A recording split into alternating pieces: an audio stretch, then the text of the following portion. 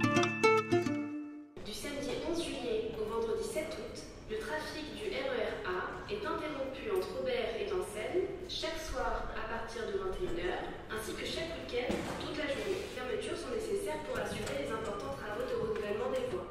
Alors nous, sommes sur les lignes du RER A, c'est une ligne qui euh, est construite depuis les années 70. Euh, les voies ont une quarantaine d'années et supportent 1 400 000 voyageurs par jour, les, les jours de plein trafic. C'est une ligne qui supporte euh, un trafic toujours de plus en plus important, une augmentation de plus de 50% ces dernières années, face auquel euh, le, matériel a évolué. La ligne est équipée de matériel à deux niveaux euh, complètement. Ce matériel est plus lourd, où les voies sont plus sollicitées, ce qui occasionne la, nécessité de remplacer les, voies complètement. Il est réalisé deux types de maintenance sur les lignes du RER A. D'abord une maintenance courante qui euh, en général a lieu la nuit quand le trafic est interrompu et des opérations de maintenance plus lourdes qui nécessitent des interruptions du trafic telles que le projet de renouvellement des voies et du ballast.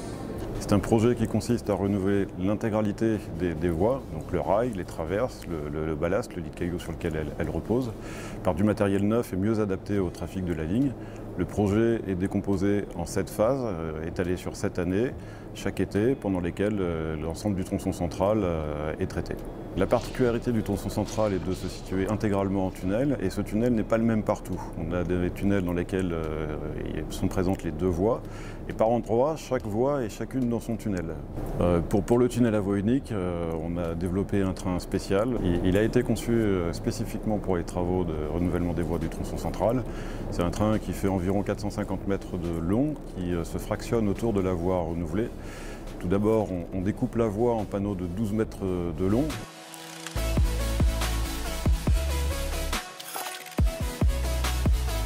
Et ce train est équipé d'un wagon poutre qui est capable d'arracher ces, panneaux de voie de, de là où elles sont euh, actuellement, les stocker avant d'opérer au renouvellement du, ballast à proprement dit, où on extrait le, ballast ancien, on met du, ballast neuf et ce wagon poutre va chercher des, panneaux neufs qui- qu'il va mettre à la place des anciens, euh, des anciens panneaux.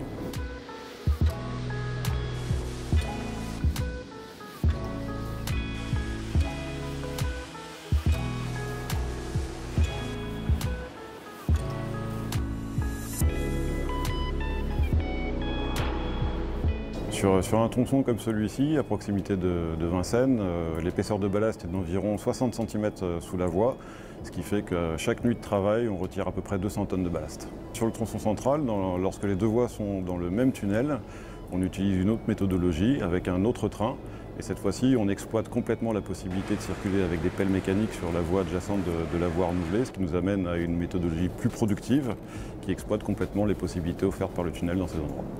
Euh, Contrairement à des, chantiers réalisés en continu, le défi sur ce projet est d'assurer la remise en service chaque matin, puisque ce sont des travaux qui sont euh, réalisés essentiellement en nuit longue. Une année comme 2020, c'est une trentaine de remises en service pour laquelle euh, une centaine de personnes se mobilisent fortement toutes les nuits pour assurer la, remise en exploitation chaque matin. D'ici 2021, nous aurons renouvelé 24 km de voies, 28 aiguillages entre Nanterre Préfecture et Vincennes.